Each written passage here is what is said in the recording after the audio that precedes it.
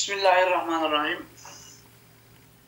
Dün Ali İmran suresinin 48'den 53'e kadar e, İsa Aleyhisselam'ın Resullük döneminin başlangıcı, toplumun karşısına çıkıp konuşması, onlara mesaj vermesini işlemiştik ayetlerin içerisinde ve e, birçok ayette eğer şüphesiz inanmışsanız bunda sizin için kesin bir ayet vardır, bir delil, bir belge vardır e, diye bize bildiriyordu. Yani burada e, İsa Aleyhisselam'ın kendi toplumunun önüne çıkıp işte ben size Rabbinizden bir ayetle geldim.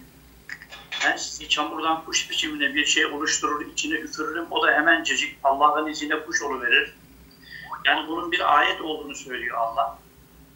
Ve bunun sadece İsa Aleyhisselam'ın döneminde onun yaptığı bir şey değil. O zaman bütün Resuller çamurdan kuş biçiminde bir şey yapıp içine üfürüp o da hemencecik Allah'ın izniyle kuş olması gerekir. Çünkü Resuller aynı misyon üzerine geliyorlar. Aynı görevi ifa ediyorlar. Resuller burada olmadığından dolayı şimdi hayatta yani Nebi olan Resuller Dolayısıyla günümüzün Müslümanları da e, vahiy doğrultusunda aynı şeyleri uygulayabiliyor olmamız lazım. Aksi halde bu ayetler bize örnek olmaktan çıkar. Ve Allah'ın izniyle doğuştan kör olanı, araca hastalarını tutulanı iyileştirir ve ölüyü diriltirim diyor. Buradaki ölünün ne manaya geldiğini sadece dün değil, daha önceki derslerde de defalarca konuştuk. Ölülerin dirilmesi için İlla İsa Aleyhisselam'ın bugün buraya gelip fokus fokus yapıp mezardan ölüyü diriltmesi gibi bir şey gerekmiyor. Yani vahye yüz çevirmiş, vahiyden uzaklaşmış insanların Kur'an'la karşılaşarak hakikaten karşılaşarak Ne su içiyorsun ya? Eyüp hocam, Eyüp hocam mikrofonu kapatır mısın? Ee, ses buraya geliyor da konuşurken yine aç e, yediklerinizi ve biriktirdiklerinizi size haber veririm diyordu. Yani Kur'an da bunu bize haber veriyor. Eğer haksız yere mülk biriktiriyorsanız, birilerini yurtlarından çıkartıyorsanız, helal haram demiyorsanız, efendim, ülkenizin her yerinde rakı şarap üretip, bunun adına güya tekel ürünleri e, ismi vererek e, harama helal yapıp satıyorsanız, Haliyle öbür tarafta ne yiyeceğini Kur'an'da haber veriyor size. Ne biriktirdiğini de haber veriyor. Ateş biriktiriyorsun kendi midende. Ve ayetin sonunda da şüphesiz eğer inanmışsanız bunda sizin için kesin bir ayet vardır.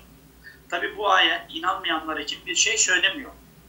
Çünkü onlar e, inandıkları ilkelerin arkasından gidiyorlar. Hakikate kapatmışlar kendilerini kafaya rakıyı şarabı çekip kendi putlarına e, tapmaya devam ediyorlar. Tabi bunun bedelini öbür tarafta ağır bir şekilde ödeyecekler.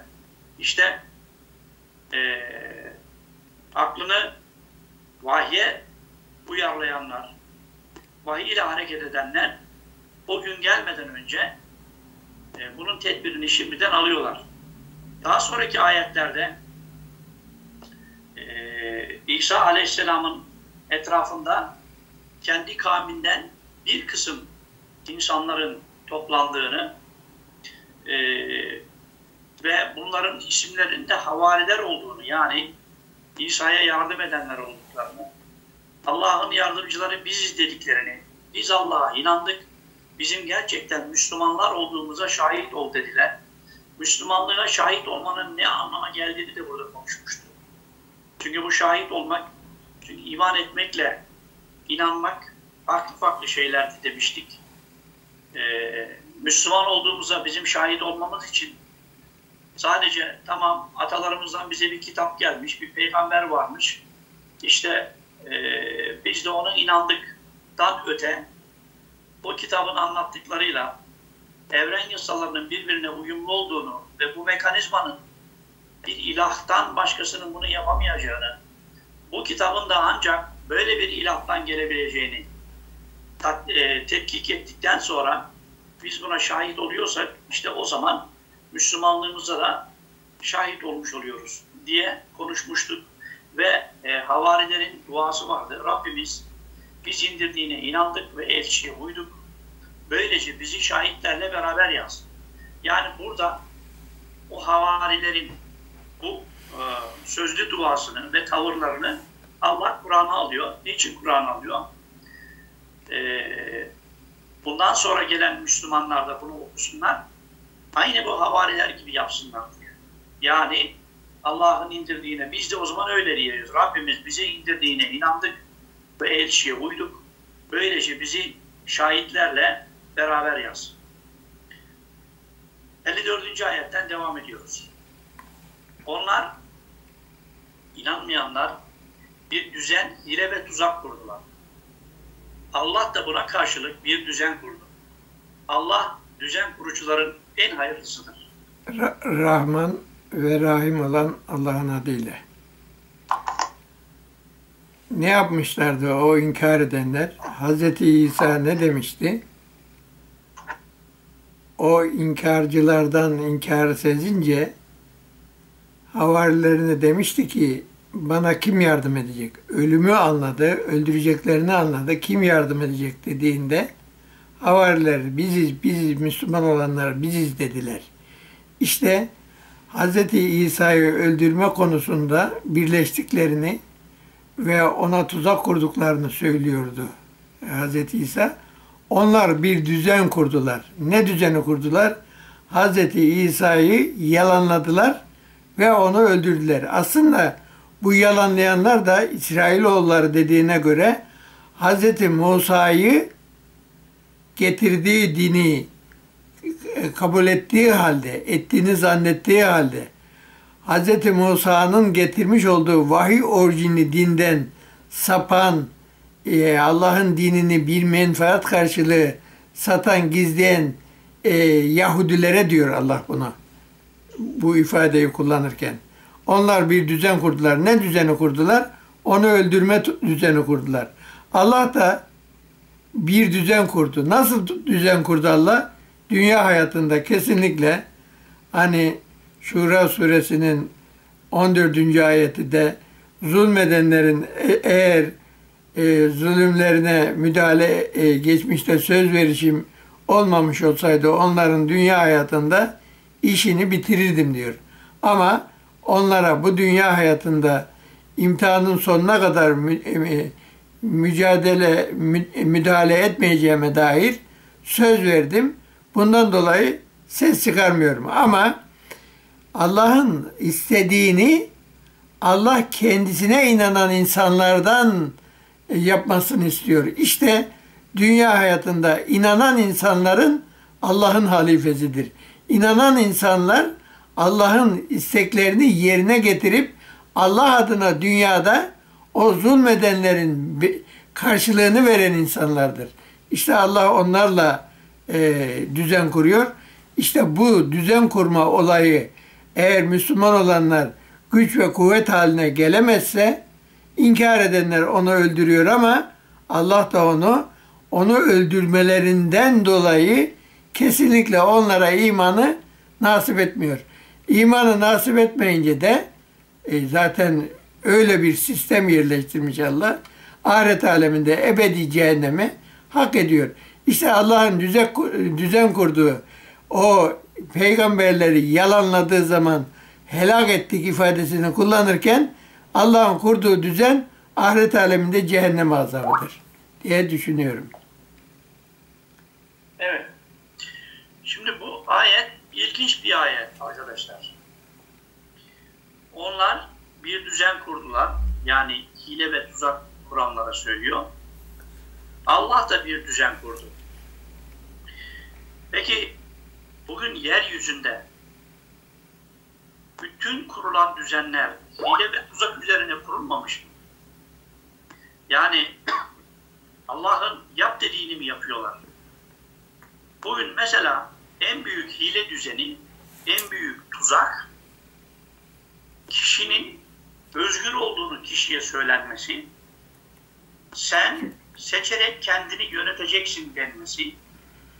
Bunun üzerine bu kişi de ne kadar çok içki içebiliyorsa, zina edebiliyorsa, efendim beş senede bir gidip bir oy veriyorsa, böylece özgür olduğunu, hür olduğunu, halkın kendi kendisini yönettiğine inanıyor. Peki gerçekte öyle mi? Hayır. İşte bunların bugünkü kurulan düzenlerin insana özgürlük diye sunduğu şeyler kişileri bağımlı yapan şeyler. Şimdi mesela bugün dikkatimi çekti. Benim oğlum şey dizilerini izliyor. Bu tarihi dizileri seviyor onları. Bazen açıyor dersten önce diziler başlarken. Dizi başlamadan en az 15 tane reklam giriyor araya. Şimdi o diziyi izlemeye çalışan bu çocuk o reklamlarda anlatılan, sunulan ne varsa bütün lüks tutkusu, şaşa, para, kirli bilgi hepsi çocuğun beynine dolduruluyor. Peki bu çocuk hürriyet, özgürlük olarak neyi görecek daha sonra? O kendisine reklamlarla, kendisine doldurulan o kirli bilgilerin doğrultusunda ne kadar fazla dünyevileşirse, ne kadar fazla haramları işleyebilirse kendi hür olduğunu, özgürlük olduğunu zannedecek. İşte bugün en büyük kandırmaca, en büyük hileli düzenler yeryüzünün her tarafında var maalesef. Şimdi Allah da diyor ki buna karşılık ben de bir düzen kurdum. Şimdi bunu genelde tuzak olarak çeviriyorlar bazı yerlerde. Onlar bir tuzak kurdu, Allah da bir tuzak kurdu. Allah tuzak kurucuların en hayırlısıdır diyorlar.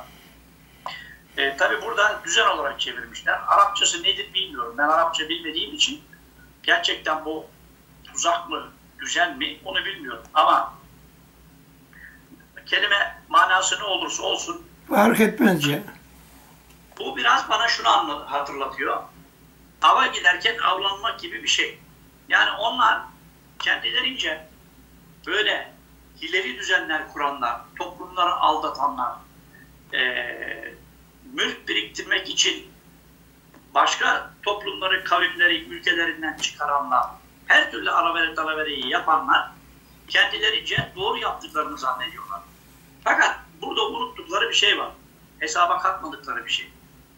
Allah bu dünya hayatında bu insanlara siz neden böyle yanlış yapıyorsunuz diyerek yanlışı yapar yapmaz bunların suratına bir tokat indirmiyor. Bunlara ceza vermiyor. İşte tam bu noktada bunların aldanışı burada başlıyor. Yani nasıl olsa müdahale eden yok. Bana dur diyen yok. Böyle bir şey de yok. Bizi yaratan Allah her gün güneşi üzerimize dolduruyor. Efendim yağmuru, rüzgarı, suyu bol bol veriyor. Yani mazlum olanlara da veriyor. Benim gibi zalimlere de veriyor. Bunlar böyle düşünüyorlar. Dolayısıyla kurdukları düzenin arkasından ölünceye kadar devam ediyorlar. Ve sonunda kendi kurdukları tuzağın içerisine düşüyorlar. Ve Allah da burada diyor ki Allah düzen kurucuların en hayırlısıdır. Yani iki düzen karşı karşıya gelmiş burada. Birincisi Allah'ın hak üzere yaratmış olduğu imtihan sistemi düzeni.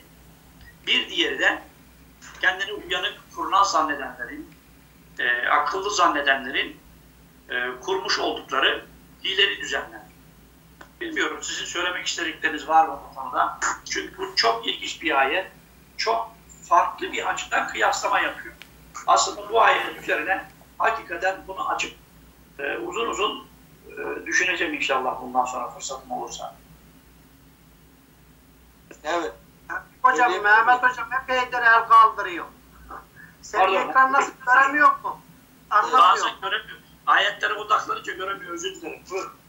Şimdi e, şuradan yola çıkarsak bunu daha iyi anlarız diye düşünüyorum. Hazreti Musa'nın Firavun'un e, felsefecileriyle karşılaşması neticesinde onlar felsefe yaparak halkı ayartıyorlar ve de şu ayetten de yola çıkarsak hak geldi batıl zahil oldu. Buradan da yola çıkarsak e, orada hakkı söylediği an onların bütün batılları yerle bir olur. Şimdi buradaki Allah'ın düzen kurması hakkı dayatması. Hak söylendiği an bütün sahtekarlıklar, bütün yanlışlıklar yerle bir olur. Peki bu e, hak nasıl söylenir? Bunun asıl e, söyleme metodu nasıl olmalı? Bunun da üzerinde durmak gerektiğini düşünüyorum. E, şimdi zaten Musa herhalde en uygun, en doğru bir şekilde gitti bunları onlara söyledi. Diyor ki Allah git onlara yumuşak davran. İşte Sadece yumuşak değil ama doğruyu yumuşak e, söyle. tabii ki yani yumuşak davranmak e, eyvallah her iki manada alınabilir yani. Evet. Ben burada tabii asıl e, düzenin onların farkında olmamaları diye anlıyorum. Yani ava giden avlanır misali ben öyle anlıyorum şeyi burada Allah'ın düzenini. Yani- Allah bir düzen kurdu. Hakikatin peşine gitmezseniz kendi yaptığınızı doğru zannedersiniz. Ölünceye kadar bu zulmün içerisinde kalıp cehenneme gidersiniz. Yani kendi kurduğunuz düzenin içine kendiniz düşersiniz. Yani Ama mesela, mesela şunu şöyle de şu ayetten de referansla yine anlayabiliriz. Allah diyor ki nice az toplulukları nice çok kalabalıklara karşı galip getirdik diyor. Mesela bu da yine buradaki düzeni bozan bir e, davranış, bir haldir. Neden peki çok az topluluklar bir de diyor meleklerle destekleriz diyor 3000 5000 meleklerle destekleriz. Bu da bir düzen bozmaktır. Neden oluyor bu? Mesela 100 kişilik bir grup Müslüman gerçekten dayanışma içerisinde olan bir Müslüman grup 3000 5000 kişilik e, müşriklere karşı rahatlıkla galip gelir. Neden? Çünkü onlar birbirlerine güvenmiyorlar. Ama Müslümanlar birbirlerine güvendikleri zaman onlar mutlaka kaçacak delik arıyor. Ya be arkadaşım beni terk ederse şüphesiyle onlar kaçacak delik ararlar. Buyur işte onların düzeni bozulmuş oluyor. Ve buyur Allah melekleriyle bizi desteklemiş oluyor. Yani dünya hayatında Allah iki kanaldan müdahale ediyor. Birisi insanlar eliyle, birisi de Allah'ın koyduğu yasalara uymadığı zaman yasalar eliyle müdahale ediyor. İşte burada inanan insanlar güç ve kuvvet haline gelirse o inkar edenlerin işini dünya hayatında bitiriyor. Ahirette de zaten Allah kendi eliyle cezalandıracağını söylüyor. Ama dünya hayatında Müslüman olanlar zayıf olursa 3-5 kişi ne olacak? Zaten devam eden ayette Hazreti İsa'yı öldürüyorlar. Öldürünce de kurdukları tuzak nedir onların? Dünya hayatını onlar tercih ettiler. Dünyada inanan Rabbim Allah'tır diyen, Rabbani yolda olan peygamberleri öldürdüler. Allah da ahiret aleminde onlara cehennem tuzağı kurdu. Yani ayetteki konu içinde e, anlatılan bu diye düşünüyorum. Evet. Hocam buradan ben bir şey söylemek istiyorum. Buyur. Şimdi önümde bir tane e, tefsir var. Tefsirde şöyle diyor. Yahudiler hileye saptılar İsa'yı öldürmek için. Allah da mukabele etti. Yine parantez içerisinde İsa'yı göğe kaldırıp hilekarlara ona benzeyen birini öldürttürdü diyor. O, o çok yanlış hocam. Hani ben burada gülmemek için kendimi zor tutuyorum. Evet. Ali Rıza Hocam, e, deminki konu hakkında bir şey söylemek istiyordum. E, hani bir ayette şeytan herhalde hesaptan sonra olacak. E, ben bir vaatte bulundum. Allah Allah da bir vaatte bulundu. Ama Allah'ın vaadi gerçek çıktı. E, benim size bir yaptırım gücüm yoktu. Ben hafifçe fısıldadım. Siz de balaklama atladınız. Yani bu düzen ayetine bunu biraz daha ben benzetiyorum. Yani bir fısıltı, bir onların yaptığı öldürme hareketi, bu Tevfik Hocam'ın bahsettiği hareketler onlara güzel gözüküyor. Bu bir tuzak. Ama kendi kendilerine o tuzağı kurup kendileri de teslim oluyorlar. Şeytan da bunu e, yani şeytanın ağzından ahirette itiraf ediliyor. Çok, çok, çok güzel. Yani bu da Haşr suresi 16. ayette diyor ki şeytanın onlar üzerinde zorlayıcı bir gücü yok. Ama şeytanı veli edinenlerin onlar üzerinde bir zorlayıcı gücü var. İşte şeytanı kim veli edinirse onun söyledikleriyle yola gider. Kesinlikle eğer seni e, hoşuna gelmezse şeytan da seni tutar öldürür. Hem dünyada hem de ahirette hayatın berbat olur. Evet. Devam edelim. Hani Allah İsa'ya demiş ki Ey İsa doğrusu senin hayatına ben son vereceğim. Seni kendime yükselteceğim. Seni inkar edenlerden temizleyeceğim ve sana uyanları kıyamete kadar inkara sapanların üstüne geçireceğim. Sonra dönüşünüz yalnızca banadır. Hakkında anlaşmazlığa düştüğünüz şeyde aranızda ben hükmedeceğim. Bu ayet üzerinde biraz duralım işte. Hani Mehmet Hocam da bütün e, müfessirlerin ortaya koyduğu verilere göre Hz. İsa ölmedi. Allah göğe kendi katına yükseltti. Orada belirli bir zaman dilimi yani kıyametin sonuna kadar kalacak ve 40 yıl e, yeryüzüne inip peygamberlik yapacak. Bütün insanlar Müslüman olacak. Öyle bir şey yok. Kesinlikle. Hani e, Allah İsa'ya demişti ki ey İsa doğrusu sizin hayatın e, senin hayatına ben son vereceğim. Hayata son vermek ne demek? Ölmek demek, öldürmek demek.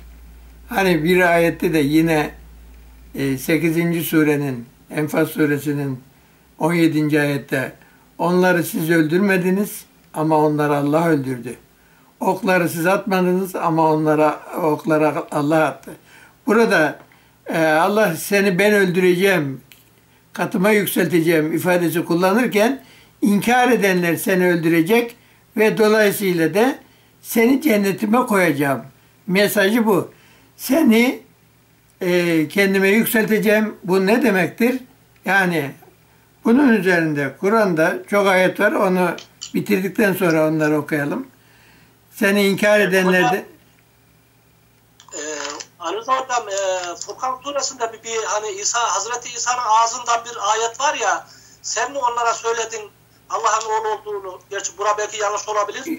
Hazreti İsa da e, ben sen e, ben onların içindeyken onların durumuna şahittim. Ne zaman ki sen beni vefat ettirdin ondan sonra e, her türlü durumu bilen sensin diye Hazreti İsa'nın kendi ağzından vefat ettiğini var hocam. He, çok öyle. Maide suresi 116 idi hocam o.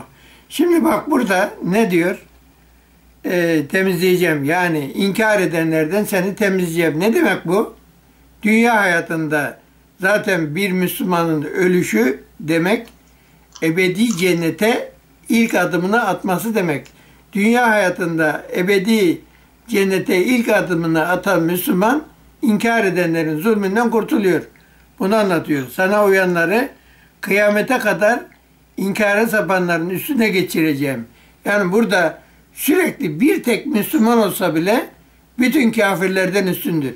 Çünkü onun arkasında Allah var, kafirlerin arkasında şeytan var. Kesinlikle Allah'la mücadele edemez. Sonra dönüşünüz yalnızca banadır. Onlar dünya hayatında güçlü olabilir ama ahiret hayatında dünya bir an, ahiret ise ebedidir. Onlar ebedi cehennemi hak etmiş olarak huzuruma gelecekler. Anadır.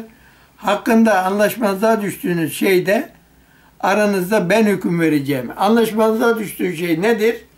O Yahudiler Hz. İsa'nın yolunun doğru olmadığını ve bundan dolayı Hz. İsa'ya muhalefet ettiklerini hani e, Nisa suresinin 159. ayetinde bütün inkar edenleri, o ehli kitap olanlar Hz. İsa'ya ölüm anında hiçbirisi e, ölüm anında Müslüman olmadan ölmeyecek. Ona inanmadan ölmeyecek diyordu. İşte ama Allah da onların imanını kabul etmeyecek. Yani o ölüm anında teslim olacak. Hocam buradaki ayette gerçekten Hz. İsa göğe yükseltildi veya e, bunun üzerinde Nisa suresi e, 156, 157, 158'i e, konu içinde okuyalım istersen. Eğer imkanın varsa. Nisa mı hocam? Nisa suresi. Tamam. Nisa 156.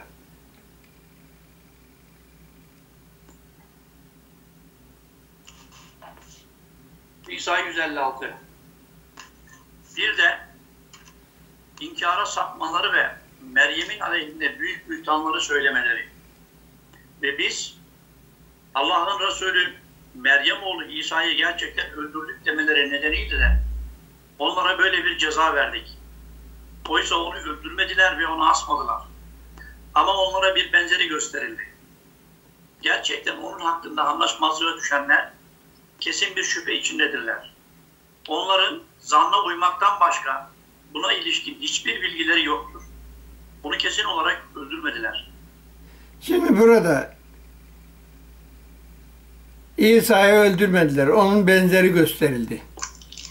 Şimdi az önceki Mehmet Hocam'ın okuduğu tefsirde orada onun benzeri gösterildi ifadesi sanki İsa'ya benzer birini buldular. Allah da onun onun yerine onu öldürdüler diye anlatıyorlar. E, Kesinlikle öyle değil. Şu yerde yatmış olan hayati fonksiyonlarını yitirmiş olan İsa'yı öldü zannediyorlar. Oysa Allah katında o ölmedi, benim katımda o diridir, cennette rızıklanıyor diyor. Olay bu değil mi? Yani ölümün benzeri gösterildiği ifadesiyle Hz. İsa'nın benzeri bir ölü öldürüyor. Ha, ha Hz. İsa'yı öldürmüşler, ha ona benzer birini öldürmüşler. Allah'a göre değişen bir şey var mı? Benzerinin de kabahati varmış hocam. Benzerinin de kabahati var. Çok güzel. Çok yanlış. Orada bak Zaten e, Allah yolunda öldürülenler için ölüler demeyin diyor ya Heh. hocam. bak e, devam ediyoruz şimdi. Bakara suresi 154. ayet. Hocam Tamam. Bakara 154 mü? he, orada ne diyor? Tamam. Onu da açalım. Onu da okuyalım. Şimdi Kur'an'daki ayetleri doğru anlamak için ilgili ayetleri bir araya getirip kastedilen manayı yakaladıktan sonra doğru bir anlayışı, yorum ortaya koymak gerekiyor. Bakara 154 ve sakın Allah yolunda öldürülenlere ölüler demeyin. Hayır onlar diridirler. Fakat siz bunun şuurunda değilsiniz. Ha, siz- e, Hazreti İsa için e, İsa'yı öldürmediler, onu asmadılar, onu katımıza yükselttik dediği zaman onu öldürmüş oluyorlar da Allah yolunda öldürülenlere ya da ölenlere ölüler demeyin. Onlar Allah katında diridirler. Siz bilmezsiniz, Allah bilir ifadesini nereye koyacaklar? Devam ediyoruz hocam. Ee, yine her nefis ölümü tadıcıdır diyor. Hz. İsa'nın ölmediğine inananlar için bu. Ee, Enam suresi 35. Tamam hocam. Ona da bakalım.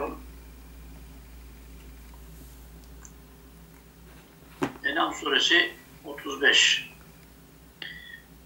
Eğer onların yüz çevirmeleri sana ağır geldiyse onlara bir ayet getirmek için yerde bir tünel açmaya veya göğe bir merdiven dayamaya gücün yetiyorsa yap.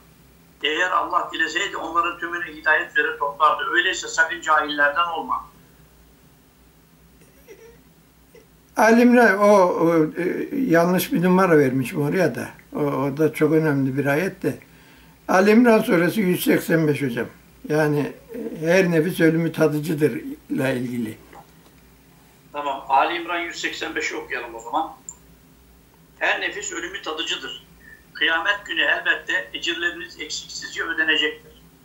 Kim ateşten uzaklaştırılır ve cennete sokulursa artık o gerçekten kurtuluşa ermiştir.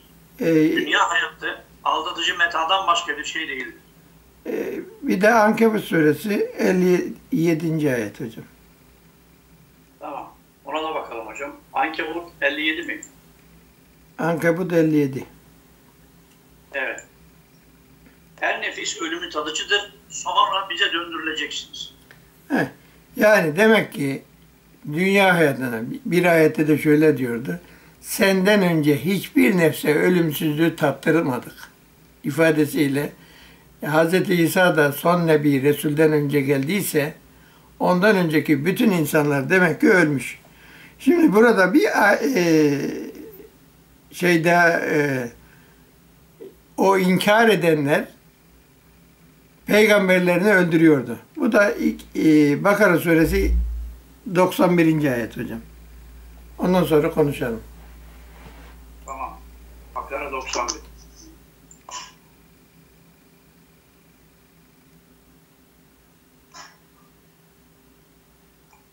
Bakara 91. Onlara Allah'ın indi- indirdiklerine iman edin denildiğinde biz bize indirilene iman ederiz derler. Ve ondan sonra olan Kur'an'ı inkar ederler. Oysa o Kur'an ellerindeki kitabı doğrulayan bir gerçektir. Onlara de ki eğer inanıyor idiyseniz daha önce ne diye Allah'ın peygamberlerini öldürüyordunuz? Heh. Demek ki Allah'ın peygamberlerini öldürenler ahiret aleminde Allah'ın tuzak kurduğu insanlar. Veya Allah'ın düzen kurduğu, düzen kurup onları cehenneme hazırladığı insanlar. Böyle bir davranış. Mesela onlar gelen nebileri yalanladı, biz de onları helak ettik diyor. Yalanlama ile helak birbiriyle tezat teşkil eden. Yani onlar yalanladığı zaman onlar doğrulaması gerekir. O peygamberleri kabullenmesi gerekir ki onlar da doğru yolda yürüyebilsin. Onlar yalanladı. Yalanladığı için de ilahi mesajda arası kesildi. Kesinlikle ilahi mesajdan nasibini alamadı. Ve bundan dolayı da onlar dünya hayatında gözleri kör, kulakları sağır, kalpleri mühürlenmiş olan olarak e, gittiler ifadesi kullanıyor. Yani dünya hayatında o inkar edenler inkarlarını e, yaptıkları zulümlerle e, gösteriyorlar ve e, sonucunda da Allah e, asla bunları e, doğru hayata götüremiyor. Bunun sebebi de şu, yani dünya hayatı önce iman edip sonra inkar eden, tekrar iman edip tekrar inkar edip inkarını arttıranları ben asla hidayete erdirmem diyor. Neden hidayete erdirmiyor? Çünkü civatanın laşkalaştığı gibi inancı da laşkalaşıyor insanın. Doğru bir yolu bulamıyor. Evet. Ali Rıza Hocam veya Tevfik Hocam bir şey arz edebilir miyim burada? Aklıma Bugün Hazreti İsa Aleyhisselam vefat etmediğini e, işte asıl demin e, okulan ayet-i kerimede siz aslında onu öldürmediniz, onun bir benzerini öldürdüğünüz noktasında şayet Hazreti İsa Aleyhisselam ölmemişse e, bizim devamlı olarak Haç suresi 5. ayet-i kerimesi insanların yaratılışından bahsederken o ara bölümde de Cenab-ı Allah kiminizi rahimlerde, kimisi bebekken, kimi çocukken, kimi yetişken, kimi de yetişkinlikten sonra e, ihtiyarlık döneminde mutlak ve muhakkak Allah öldüreceğinden bahsediyor. Haç suresi 5. ayet kelimesinde. Şimdi böyle bir Allah'ın kanunu varsa Hz. İsa aleyhisselam ama 30 yaşında olsun ama 40 yaşında olsun e, bu anlatılan ayetlerin içerisindeki bir maddenin içerisinde mutlaka öldürülmesi gerekmez miydi? İşte İster 30 yaşında olsun, ister Ay- 40 yaşında olsun, tabii ister 60 ki. yaşında olsun. Tabii ki. mutlak ve muhakkak canı alınması lazım bu ayet-i kerimeye göre. Aynen. Bak mesela Hazreti İbrahim için de aynısını söylemişler. Hazreti İbrahim'i o bütün putları kırınca Hazreti İbrahim'i öldürünce yakın ateşte demişler. Ee, onlar da e, ateşte yakmak için hazırlandığında Allah da diyor ki ey ateş İbrahim'e karşı serin oluyor. Şimdi Kur'an'a göre yaratılış evren yasaları ile gönderdiği vahiy yasaları çelişmez diyoruz. Eşya kesinlikle kendine kodlanan bilginin dışında hareket edemez. O kesinlikle kendine ne görev verilirse onu yerine getirir. Allah önce ateşe yakma görevi verir de İsa'ya gelince yakmayacaksın, e, Firavun'a gelince yakacaksın der mi Allah? Orada e, ey ateş İbrahim'e karşı serin ol ifadesiyle Hz. İsa'nın yanmadığını söylüyorlar. Ateş onu yakmadığını. İbrahim de hocam. Aynen. Pa- Pardon ben ne dedim? İsa dedi. İsa. Ha İbrahim peygamberi yakmadığını söylüyorlar. Oysa İbrahim peygamberi ateş yaktı. Benim onunla ilgili geniş de bir makalem var. Yani e, Allah e, evrene koyduğu düzeni kesinlikle bozmaz. Dünya hayatında evrenin yasalarını bozan insanlar dünya hayatında evrenin yasalarına, kurallarına uymadığından dolayı e, dünya hayatında gözleri kör, kulakları sağır, kalpleri mühürlenmiş olarak kör ve sağır olarak yaşarlar. Ahiret aleminde Allah'ın huzuruna cehennemlik zabani olarak çıkarlar. Kur'an'ın anlattığı bu. bir de e, Ali İmran 185'te diyoruz ya e, her nefis ölümü tadacaktır diye. O zaman buna bir parantez açıp Hazreti İsa hariç demesi gerekmiyor muydu? demesi gerekirdi tabii. Yani Kur'an'da böyle bir şey varsa böyle bir şey yok. istisna yok Kur'an'da. Ali Rıza Hocam ayrıyetten Muhammed Aleyhisselam'a senden önceki bütün peygamberler uzun yaşıyor değildir. Sen de uzun yaşamayacaksın noktasında bir ayet-i kerime var. Demek ki kendisinden önceki peygamberler hem uzun yaşamamışlar hem vefat etmişler. Kendisinin de hem uzun yaşamayacağını ve vefat edeceğini söylüyor. Arkadaşın dediği gibi mutlaka Hazreti İsa hariç demesi lazım burada. Tabii ki yani mutlaka bunu belirtmesi lazım. Kur'an'da veya Kur'an'da başka bir yerde onunla ilgili bir ayet. Mesela burada İsa'yı öldürmediler, onu asmadılar, onu katımıza yükselttik ifadesi kullanıyor. Başka bir ayette ey İsa ben seni e, öldüreceğim, hayatına son vereceğim diyor. O zaman demek ki ayette seni asmadılar, seni öldürmediler ifadesinden onun hayatına son verilmedi anlamında değil. Onu öldürdüler ama e, o Allah'ın razı olduğu şekilde öldürüldü ifadesiyle bunu anlatıyor. Hocam bir de istisnalar oldu mu zaten Allah her zaman belirtiyor. Tabii ki. E, Başka suresinde işte insanlık zarardadır diyor. E, ancak diyor iman edenler, salih amel işleyenler hariç diyor. İstisnaları belirtiyor yani. Zaten istisnada hep muhalif olanlar. Bir iman eden, salih amel işleyenler var. Bir inkar eden, zulmeden insanlar var. Kur'an bunları net bir şekilde ayırıyor zaten. Hocam bir de e, dünya hayatında e, son peygamber Hz. Muhammed'in e, peygamberliğinden sonra bir daha peygamberlik geleceği yazıyor mu Kur'an'da? Yok yazmıyor. E, yazmıyorsa Hz. İsa nasıl geliyormuş bir daha peygamberlik görevi için dünyaya? Bunu da hiç düşünmüyoruz galiba. Çok güzel. Yani Kur'an'ın e, anlayışını kendine rehber edinmeyen insanlar böyle söylüyor zaten. Yani bir taraftan e, Muhammed peygamberin son peygamber olup görevi tamamlandığını söyleyeceksin. Diğer taraftan bir tanesinin geri gelip bir daha görevi tamamlandığını söyleyeceksin. Şimdi Mehmet Hocam bir ayet yayınlamış burada Ahkaf suresi 15'i. Biz insana anne ve babasına iyilikle davranmasını tavsiye ettik diyor. İsa aleyhisselam da bir insan mı? Tabii ki. E ama babası yok. O zaman Yine İsa. niye- İsa hariç demesi lazım burada. Çünkü babası yok. Onun, onun babası ruh. Allah'ın ruhu gelmiş. Meryem'i zorla hamile bırakmış. Oradan da bir çocuk doğurmuş. Tamam bırakmış. Ve bu da bu da babası ruh olan birisi bize örneklik teşkil edecektir yani. Çok- o zaman ben çok- derim ya bu babası bu. Bu ayrı, bu olağanüstü yerlerden gelmiş birisi. Anası çift cinsiyetli işte bir şeyler. Herkes bir şey uyduruyor yani. Ama burada ayette diyor insana anne ve babasına iyilikle. Demek ki insan dediği zaman demek ki bütün insanların anne ve babası var. O zaman Allah burada yanıldı işte. Eğer insanın babası Bir de 40 yaş. 40 yaşa vurgu yapıyor. Eyvallah. Peki devam edelim. Bir, bir, bir ayet daha söyleyelim hocam. Bak bunlar çok önemli.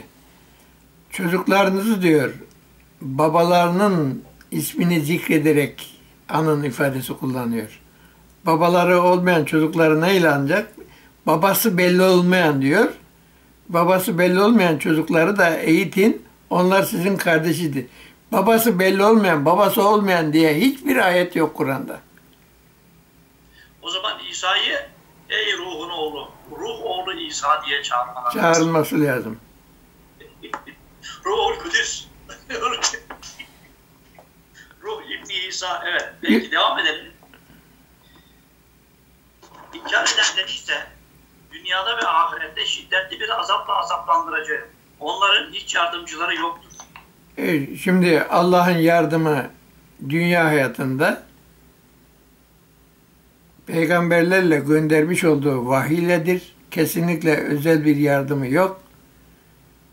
Ahiret aleminde ise yine o iman edenlere ve salih amel işleyenlere o inkar edenleri cehennemi o meleklerle doldururken çılgınca ateşe giderlerken onları oradan e, al, e, kesinlikle oraya göndermeyip cennete atmak Allah'ın yardımı orada diyor.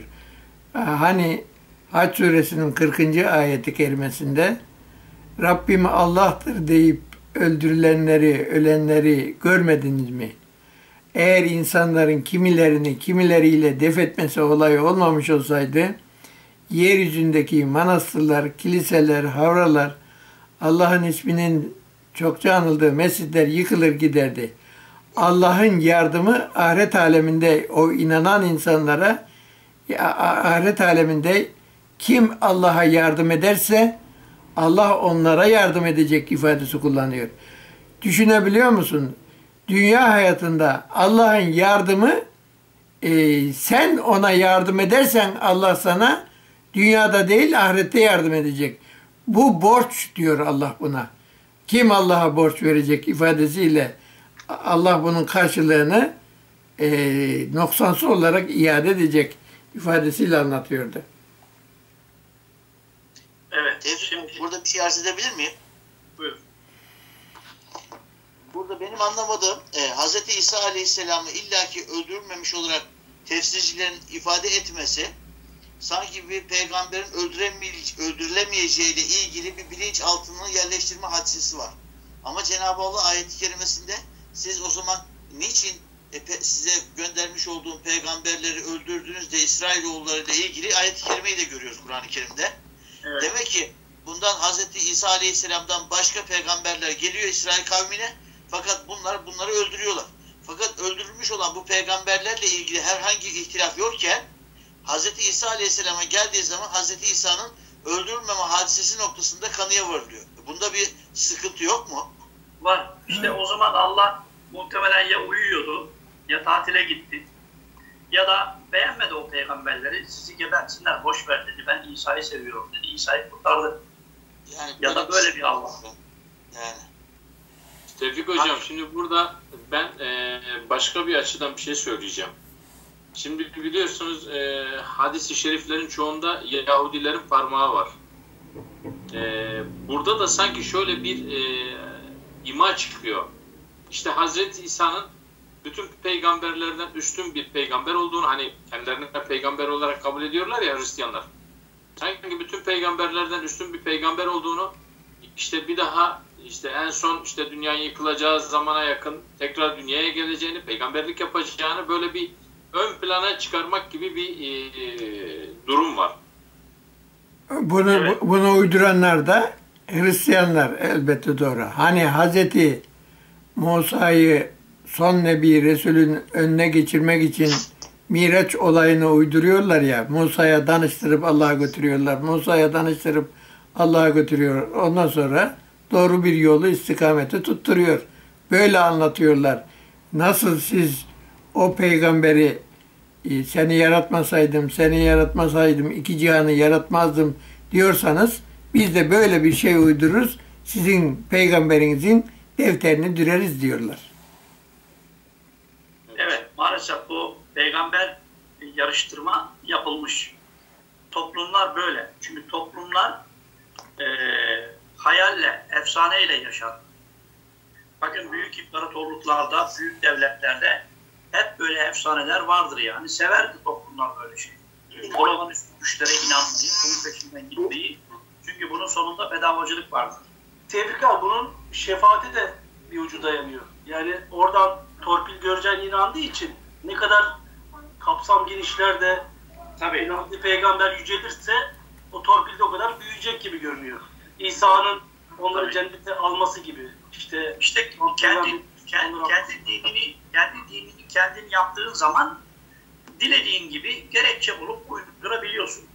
Sadece bir noktaya geldiği zaman berzah alemiyle, insanların ulaşamayacağı alemle ilişkilendirip ve Allah diledikten sonra bu olur dediğin anda orayı kimse sorgulayamaz. Kimse de gidemiyor.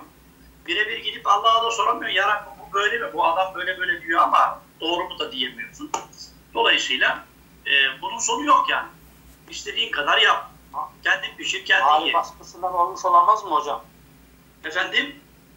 Mali baskısından olmuş olamaz mı? Yani Müslümanlar yerleri e, fethettiler. Oradaki Hristiyan alimler e, yani Müslüman olduk gibi e, kendilerini gösterip yine e, Vallahi ellerinden Eyüp hocam, Eyüp hocam bunun sebebi ne olursa olsun önemli olan böyle bir yanlışın, böyle bir şirkin bizim inancımıza karışmış olması.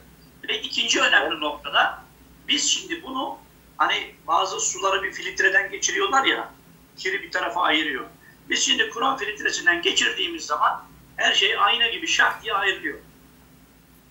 Önemli olan burası.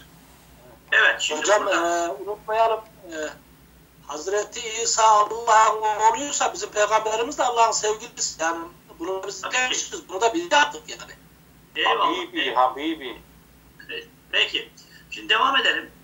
Ee, bu 56. ayette dünyada ve ahirette şiddetle azapla azaplandıracağım. diyor. Az önce Ali Rıza Hocam söyledi. Ahirette azap verileceği. Dünyadaki azap nedir? Dünyadaki azap sebep sonuç ilişkisi içerisindedir. Birincisi dünyada şirkin içerisinde kalmak azabın bir başlangıcıdır. İkincisi de bunlar inkar ettiği için zulüm de yapıyorlar. Birbirlerine de zulüm ediyorlar. Yani bazen bir kafir diğer kafiri de geliyor öldürüyor mal peşinde. Dolayısıyla dünyadaki azap sebep sonuç ilişkisi içerisinde olan azaptır. Ahiretteki azap, ahiretteki azap da Allah'ın orada verecek olduğu azaptır. Bunu bir kenara not etmemiz lazım. İman edip salih amellerde bulunanların ecirleri eksiksiz ödenecektir. Allah zalim olanları sevmez. Yani iman edip salih dünya hayatı hanginizin daha güzel amel işleyeceğini denemek için ölümü ve hayatı yarattık. Kesinlikle Allah peygamberleri gönderiyor. Vahiyleri gönderiyor. Kesinlikle insanlara inansın, inanmasın rızıklarını da veriyor. Özel bir müdahalede bulunmuyor. İşte inanan insanlar kendi aralarında güç ve kuvvet haline gelirse onlar inkar edenlere karşı savunmalı bir hale geliyorlar ve dolayısıyla onları öldürmek için gelenleri kesinlikle onlar e, savuyorlar. Onların kendilerini öldürmesine müsaade etmiyorlar. İşte e, bu şekilde Müslüman olanlar hani yine Bakara suresi 243. ayette hani yurtlarından binlerce kişinin ölüm korkusuyla çıktıklarını görmedin mi? Onlara ölün dedik, sonra dirilttik ifadesiyle bunu anlatıyor. Yani her Müslüman olan Allah'ın özel bir yardımı olmayınca kesinlikle inkar edenler öldürse bile o ölümden korkmadan e, o dik duruşunu bozmadan yürümesi gerekiyor. İşte e, o dik duruşunu yürüyen insanlara ahiret aleminde onlardan Allah razı olacak ama Allah kesinlikle zalimleri sevmez. Onları ebedi e, cehennemi e, onlara zindan edecek ifadesiyle anlatıyor. Yani e, Müslüman olanların dünya hayatındaki yardımcısı sadece kendi birbirleri arasındaki e, yardım bir de Allah'ın melekleridir. Yani Müslümanlar teknolojiyi çok iyi kullanması lazım ki o meleklerden asgari değil maksimum nispette yararlanacak şekilde donanıma sahip olması lazım. Ve bunu da Allah yine Alimran suresinin 124-125. ayetinde siz sabrederseniz, gerekli gayretinizi gösterirseniz Allah meleklerden 3000 5000 kişiyle yardım ulaştıracaktır ifadesi kullanırken de hem teknoloji anlamında hem de diğer yaratılışta verdiği sözü bozmayan insanlar anlamında size yardım gelecektir anlayışını insanlara psikolojik olarak yerleştirmiştir. Şimdi arkadaşlar bu 57. ayette iman edip salih amel işleyenlerin durumundan bahsediyor. Bir önceki ayette inkar edenlerin durumundan bahsediyor. Yani Allah insanları iki, iki kategoride değerlendiriyor benim anladığım. İman edenler ya da iman etmeyenler. Tabi inkarcılar kendi aralarında ayrılıyor. İman edenlerin içerisinde de önde gidenler var. İşte öncü olanlar, muttakiler diye bahsediyor. Ama sonuçta iki topluluk var. Ya iman edenler topluluğundasın ya inkar edenler topluluğundasın. Ve sonra